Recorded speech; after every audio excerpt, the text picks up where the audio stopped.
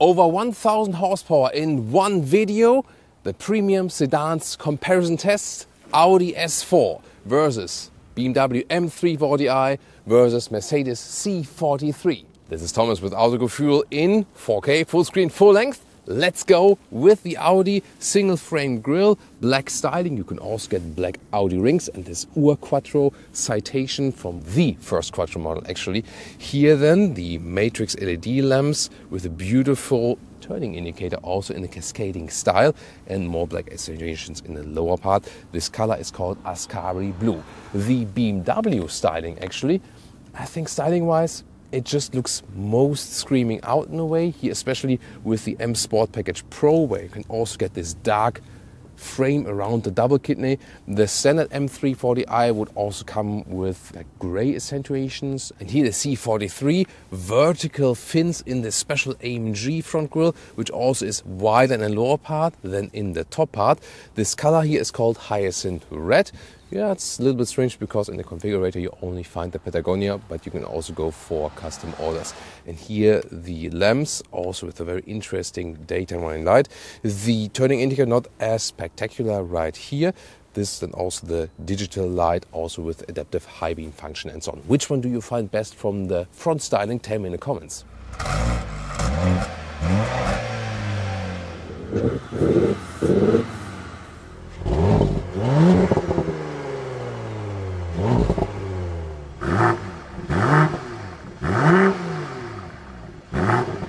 With 4 meter 71 or 185 inches, the BMW is, so to speak, the smallest, but it's actually not a huge difference to the other size figures for the Mercedes and the Audi.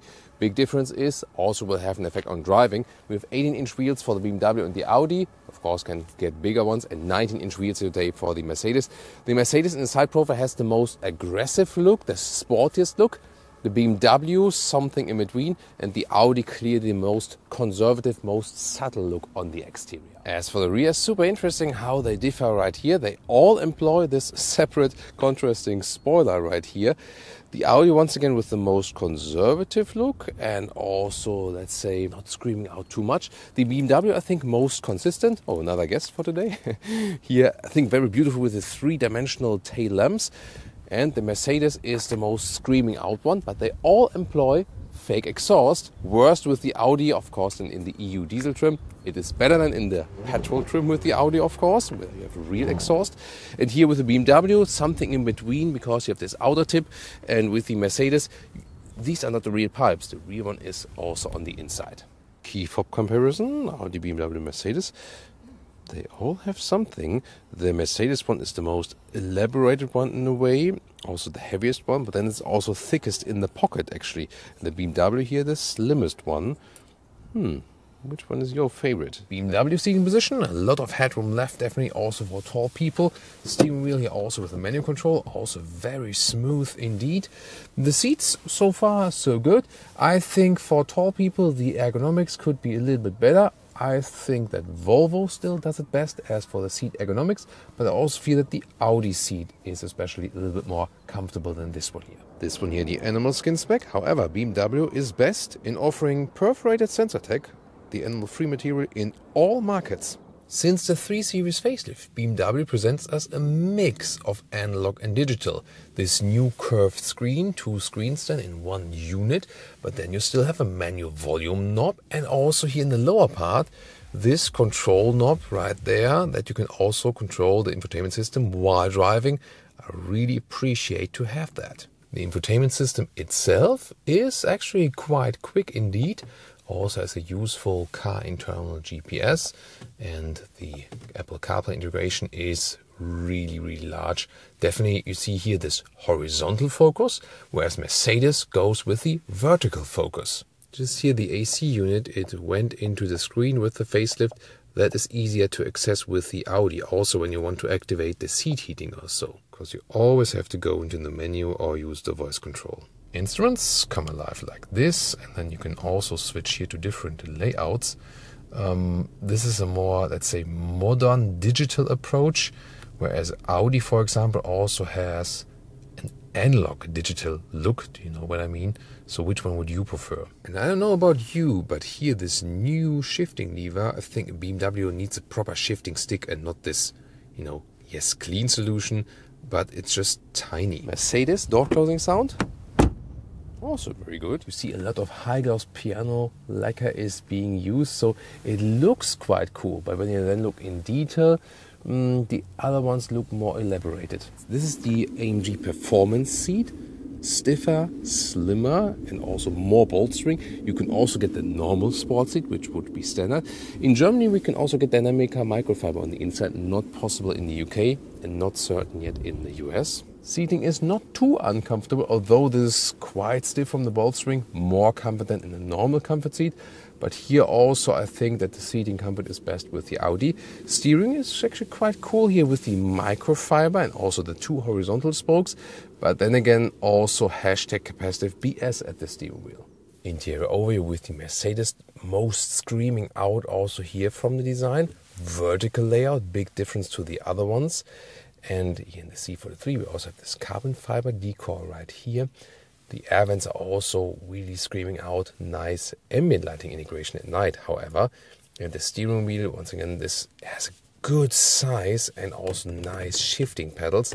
Well, there's such a huge difference between the Audi, which is most subtle, most conservative, and the Mercedes, which has like elements here, here, here, everywhere. What I found very cool is that with the Mercedes, you can drive and also select then the driving modes at the steering wheel directly. That's the easiest here in the test.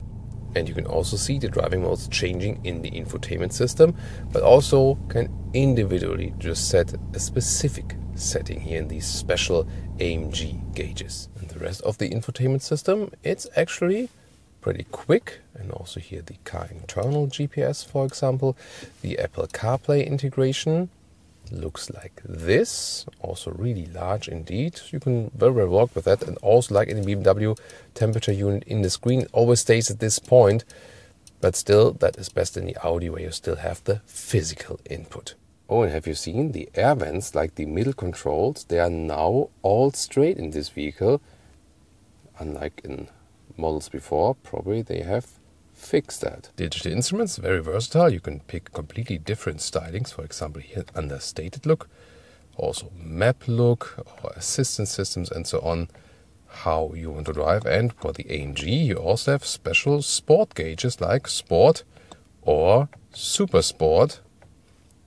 No, Super Sport, yeah, that's about controlling it with the capacitive BS buttons and also track pace. And you also have a lot of storage here in the front, cup holders also adaptive to USB-C chargers and in the middle armrest more. Front seating here with the Audi, comfortable and balanced and also the steering wheel position here, manual start up and down and out, but really smooth indeed. So this is here already seating wise a good balance between sportiness and comfort and headroom. There's plenty left even with 189 or 6 foot 2. And the Audi seats here with Alcantara on the middle part and integrated head restraint. Looks quite cool, especially this Alcantara pattern, doesn't it? Interior overview in the Audi S4, clean, straightforward, rather conservative, nice brushed aluminum, and here this tablet or the screen is basically attached. This is the facelift model digital instruments clear to read. I think the best digital instruments here in this test. You can also change the view. And of course, this lovely climate unit right here. It's so great, has this really beautiful clicking sound. This is the best straightforward user interface. Also here with, with the toggle wheels on the steering wheel. So yes, it looks most old school, but it's also easiest to control. Seating here in the BMW, already closed when I'm driving here in the front. This recess here at the back part of the seat, that would work better when I put the seat a little bit higher, then it would actually work. Headroom, yeah, gets close, but it's also fine for my size, 1 meters 89 or 6 foot 2. A little bit narrow here for the shoulder area. That's quite typical for BMW sedans. Overall, also good build quality here for the rear doors. There is one advantage to the performance seat it gives you a little bit more legroom. But also in all three vehicles you hardly have any knee room when a tall driver is driving. And headroom is also comparable. You can always basically put a hand over your head. So there, not much difference. Uh, it's very comparable with the BMW. I think just from the basic architecture, the Audi offers a little bit more space here to the side, but not more legroom. This one here, actually, with the performance seat, best legroom. Seating in the rear with the Audi, headroom is fine, but these sport seats with the integrated head restraint, they really restrict the legroom. It's better with the normal A4 with a separated head restraint, but here it's really, really close. Just cool inside of the door, the Alcantara, and also here on the seats again.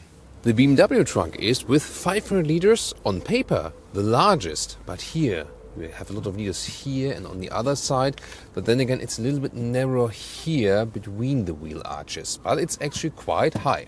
455 liters for the Mercedes trunk, also same length approximately and the same width between the wheel arches. I think here this plastic part here should not be there in this vehicle, but also very well usable like the others. And you can, that's the biggest advantage, fold the seats very very easily from here. With another help, and there you can load things through and the Audi at 460 liters, but I feel this one here has the best square dimensions. So they're all a meter or 40 inches in length or in width approximately, but this one I think among the best usable. The acceleration figure to 1 kilometers or 62 miles now is with all of them around four and a half seconds, but they reach it with a different way. Here the Mercedes goes four cylinder now, really? Here you can see the stability or the strut bar or dome strut one, two, three, four. Hmm. For a C43, I doubt that's the right decision. However, performance wise, it's all the way there. It even has the biggest horsepower output with this mild hybrid system of over 400 horsepower. The BMW Classic, the 3 liter inline six cylinder, probably to me the best engine in the test. I can already tell that so far. And around 370 horsepower, and it is the quickest because there's like a 0.2 second difference than where this one is actually quicker. And we'll also soon go to the German Autobahn, launch it all the way out and see how is the acceleration in the higher uh, speed like 80 to 180 kilometers an hour or something like that. This will be very, very interesting. The Audi is a little bit special. In Europe, you get the 3 liter 6 cylinder diesel. In the US, you get the 3D6 cylinder petrol engine. We'll also test drive both for you today that you can actually compare them. So in Europe, uh, I have to say the diesel fought a little bit out of the spec. However, for the driving performance and the behavior of the vehicle, it doesn't change much because it is still a rear wheel biased all wheel drive. They all come with all wheel drive. You can also get the BMW in the US with rear wheel drive only. The Audi and the Mercedes always then with all wheel drive. The petrol engine, of course, in the US for the Audi is a little bit better as for the sound and also from the low torque area and so on. Welcome to Thomas's Comparison Driving Lounge, starting with the M340i, putting it in Sport Plus and also in the S shifting mode. And we'll get on to the German Autobahn for the first acceleration. Let's go.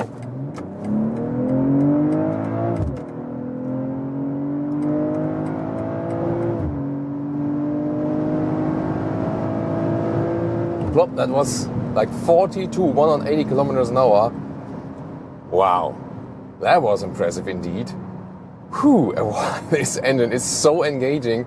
And if you compare the 3 Series 2 liter 4 cylinder uh, versus the 3 liter inline 6 cylinder here, ah, it adds so much to this vehicle here indeed. Wow, this is a huge difference. Recently we had our test of the more civilized versions of these three vehicles here. And this time, yeah, it is just the most engaging engine. The Audi 3 V6 you can get in the North American market for uh, for the S4. There's also a great engine, definitely. This one here just you know so emotional. At the same time, it can also be very calm when we just go comfort mode and D driving mode. That's actually really, really, really calm and you can score great consumption figures even when you're going like cruise control, 100 kilometers an hour, 120 kilometers an hour, like 60, 70 miles an hour. This 3 liter inline 6 cylinder is more fuel saving than the 2 liter 4 cylinder. You can score better consumption figures indeed. it's quite astonishing, you know, because you can always keep it at a lower RPM and so on. It's not, you know, working so much. Of course, when you race it all the way through, use all of that horsepower, and of course the consumption will go up. But actually, it can also be quite economic. Well, not that great, but in comparison to the 2 liter 4 cylinder, it's not worse at all. In most cases, even better. That's really interesting thing. Let's go back into the Sport Plus mode and also in the S shifting mode. Here it's basically split with the Audi, for example. Mm, it is always also connected, um, and with the Mercedes as well. Here with the BMW, you basically have the sport setting here for uh, for for suspension and so on, throttle input, and for the steering that you have a little bit more feedback. Way, really nice with this transition, a lot of fun. And then you have to go for the shifting also in that S mode so that the RPMs are turned up higher and so on. So this split here, I'm not really sure why they're doing that. It's I think it's too complicated. If you would go to the sport mode, I think you would also want sporty shifting directly, right? Oh, listen to that.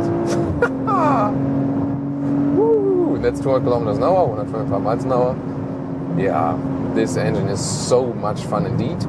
Wind noise at higher speed, I feel, is better, especially with the Mercedes. Actually, when we're really, really fast here now. Um, yeah, and also when we are driving a little bit faster, I feel that I don't have the best control of the steering. Um, it's not that predictable, I would say, because here they made it that running straight is a little bit calmer, basically. You know what I mean? So here it doesn't do too much, and then when you get to this area, then it suddenly does more. You know, and that is not that predictable as like, like the other steerings. Yeah, but the engine, of course, there's even still an artificial sound here because everything is well insulated and so on. But you also get artificial boost in here. They change here a lot of fun. Wow, really nice adaptive suspension we have also as an option built in here. Even in the sport mode, it is quite comfortable with 18 inch wheels. Now we go to the comfort mode, then it's also a little bit more comfortable overall. And also when there are some, some bumps in the road, they don't get through to your lower back and so on. So here I found with the BMW, when you go for the adaptive suspension, you already add some more comfort. And then it's really about the wheel choice. So I had some rides with 19 inch wheels where I would say hmm, maybe it's too rough in a way. But here with 18 inch wheels and the winter tires is actually quite fine. And I think they didn't, let's say, they didn't exaggerate anything with this vehicle here and also with the suspension setup. So if you want like the super, super, super aggressive thing, you would of course go for the M3. Here the M340i still presents a balance that you want to have this car in everyday driving. Oh, also when you go off the throttle, ah, not sure how you can pick it up on camera, but going throttle and leave it, it, plop, plop, plop, plop, plop, plop, plop, you got these exhaust notes there. Ah, it's just lovely indeed. So indeed, the 340i here, the thing that this one here does especially well is giving you so much emotion, and that is definitely connected to the engine.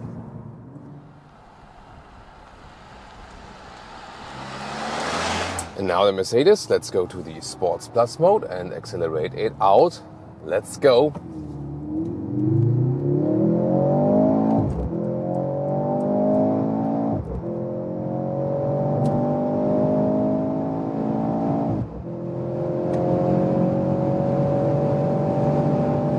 190 kilometers an hour.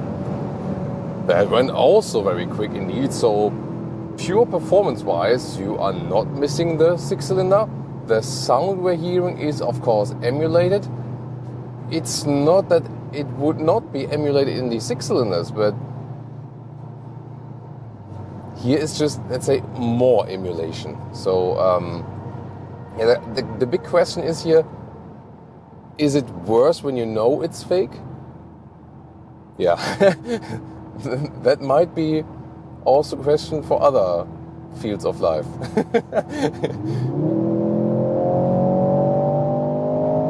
Well, I mean, it doesn't sound too bad actually. And also, when you go off the throttle, you also have some blop, blop, blop from the exhaust. It does feel cool and does feel sporty. That's that's true. Steering here on the side, we have the microfiber one, and it's actually very well to control. Lane changes are also a lot of fun. Yeah, this one feels way different than the normal C class, indeed. So, I said with the BMW, it makes it basically a different vehicle mainly due to the engine. Here in the Mercedes, if you compare the Mercedes C-Class and the AMG C-Class, it makes it really a very different vehicle, not only from the engine. Yeah, we still have the four-cylinder here, but suspension-wise, it's way stiffer. The steering also feels a little bit more engaging. Of course, you also have this AMG styling yeah, the whole car feels more like let's go attack it and so on. This is very interesting. Whereas with the Audi, there is not that large difference between a normal A4 and the S4. Yeah, and in power wise, of course, yes, but that's why the A4 is always some kind of this compromised balance between comfort and sportiness. And with Mercedes here, you feel the biggest gap between the normal version and the AMG version. That has always been the case. It's very interesting. Whereas with Audi, the, trans, the, the, like the transition between the different models in the lineup is really smooth always. With BMW, a little bit more gap, and with Mercedes, there's the biggest gap then between the normal and the AMG model. This is a very interesting finding here, definitely. It is also very engaging to drive. As for how natural the steering feels, well, it's super astonishing that when you compare the previous generation C class, that this is here now definitely more direct. This is actually very cool. I like that sporty feature that the steering is just sportier overall. However, the most natural feeling hmm, in the comfort mode, it's really, really light. When we are in the sports mode, sport and sport plus, I have a little bit more resistance there's also an individual mode. You can also set up then, for example, that you make the steering itself just, um, you know, a little bit harder in the reaction. That's also fine. But I think the most natural feeling is still delivered by the Audi, steering feeling wise. So by the steering, you feel most connected to the Audi. That's the thing. Other than that, suspension wise and also how the car behaves, you also feel really connected here with the C43.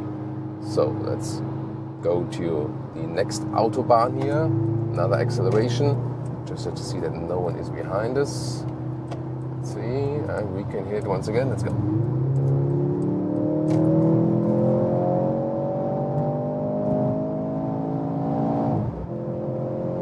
One seventy.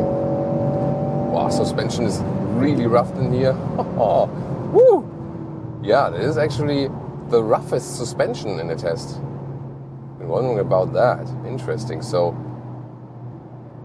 really less compromise. So, whereas the Audi has biggest compromise, sportiness and comfort and balance, BMW then more in the sporty direction, and here, yeah, the Mercedes feels kind of sportiest. Also here lane change at higher speeds. Well done. It's actually also reasonably silent in here as for the wind noise, so good noise insulation in the C class, also a lot of fun. So I have to say, fun wise, you don't miss the six cylinder.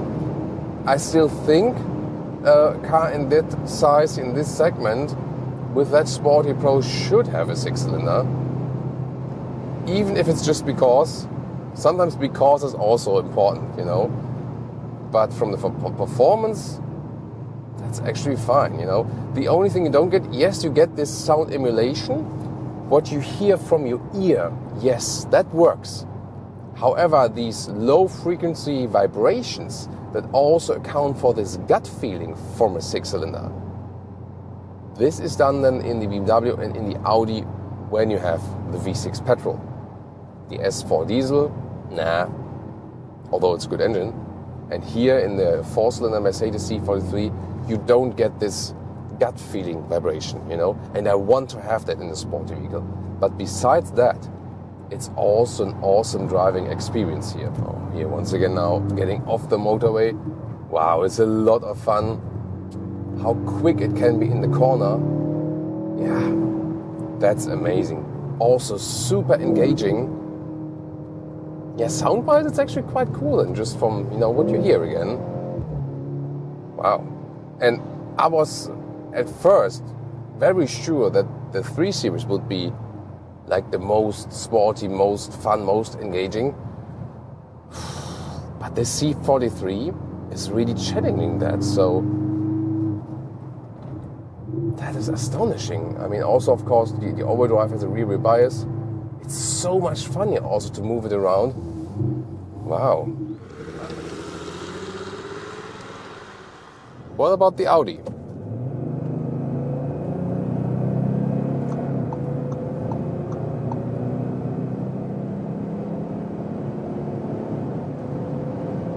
Plop, that's 180 kilometers an hour, really strong. Of course, here in the European version, this is the 3 liter diesel. However, the acceleration figure is kind of the same. There's just a difference that when you have that diesel, the torque is setting in later. And then on the Autobahn, when you're already at speed and using that torque, then it's really strong, gives you good punch as well. The TSI, which you also get in the US, or then in the um, S5 convertible, you can still get it, for example, in uh, in Europe. That one is actually a little bit more instant torque, instant speed at lower speeds oh, directly when you hit the, the, pedal. Here with the diesel, you have to wait like this second and then it pushes massively. But what they have both in common, and this will also not change anything else about this review, both have the standard quattro 40 60 distribution, so you always have a rear wheel bias indeed. And of course, also suspension and so on and handling is the same.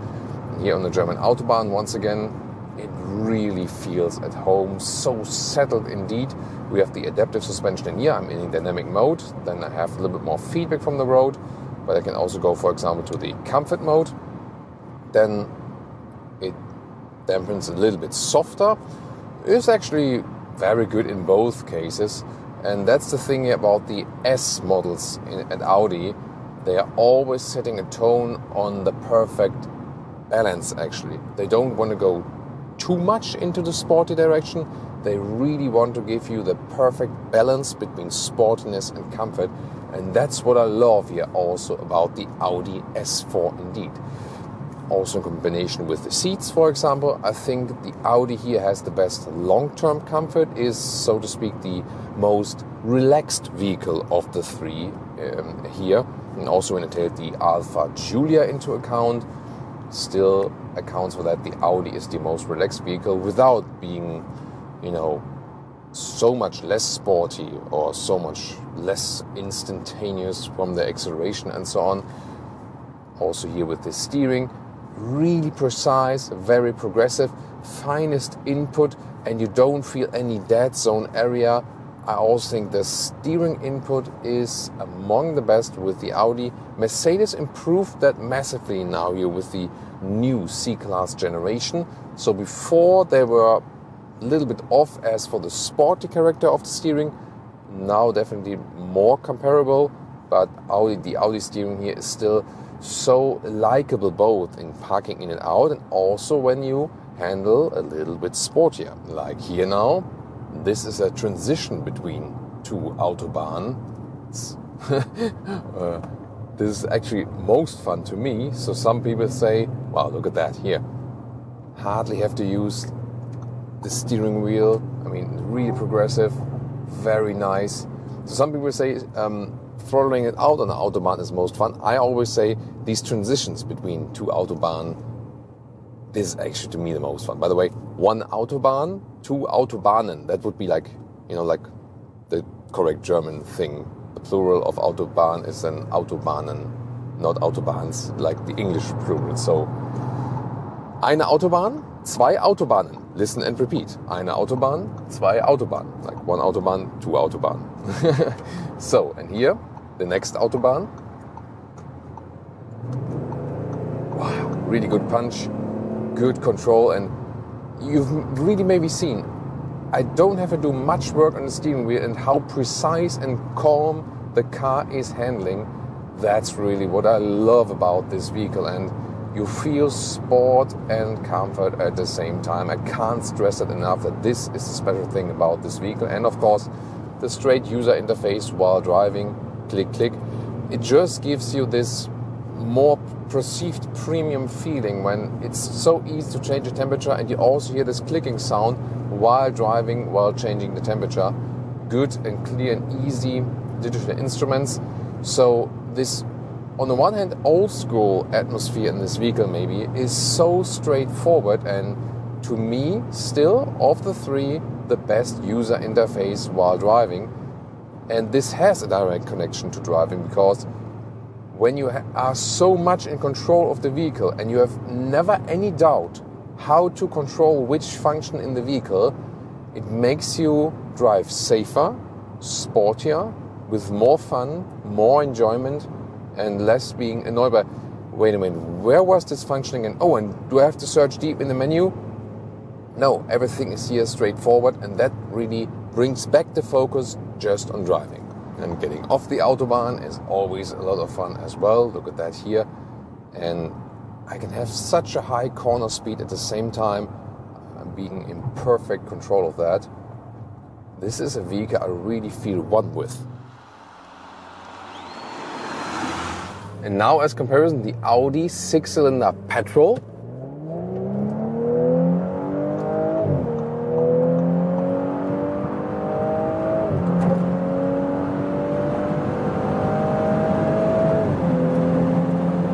That's yeah, over 180 kilometers an hour. Here, of course, a little bit more wind noise because this is here an S5 convertible.